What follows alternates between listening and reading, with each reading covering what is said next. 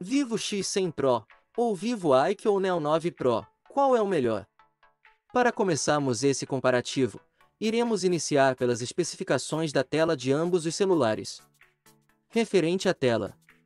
No Vivo X100 Pro, você vai encontrar uma tela AMOLED de 6,78 polegadas, Quad HD, com 120 Hz, com 453 ppi.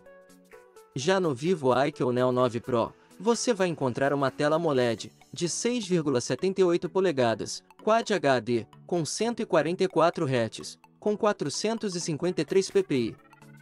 Referente ao peso dos celulares. O Vivo X100 Pro pesa 225 gramas e tem 8,9 mm de espessura. Já o Vivo ou Neo 9 Pro pesa 196 gramas e tem 8 mm de espessura. Referente à bateria, o Vivo X100 Pro vem com uma bateria de 5.400 mAh. Já o Vivo ou Neo 9 Pro vem com uma bateria de 5.160 mAh. Referente às câmeras.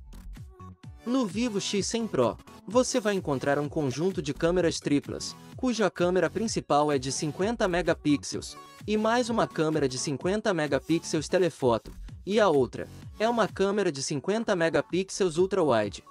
Já o Vivo ou Neo 9 Pro vem com duas câmeras traseira, cuja câmera principal é de 50 megapixels, e a outra é uma câmera de 50 megapixels ultra-wide.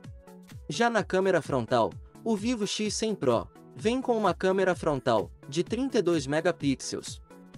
Já o Vivo ou Neo 9 Pro vem com uma câmera frontal de 16 megapixels.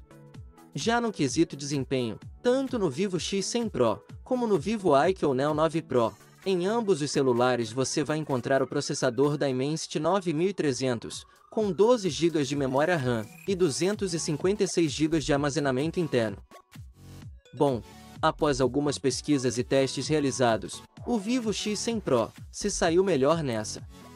Mas e para você qual é o melhor? Vivo X100 Pro ou Vivo ou Neo 9 Pro? Deixa aí abaixo nos comentários.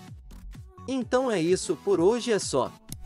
Não esqueça de deixar aquele like, e de se inscrever aqui no canal, e ativar o sininho das notificações para ser notificado sempre que sair um vídeo novo aqui no canal.